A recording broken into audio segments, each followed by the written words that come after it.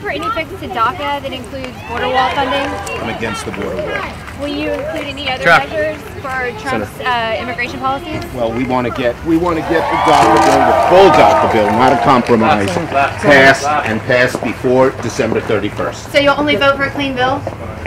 I told you what I said.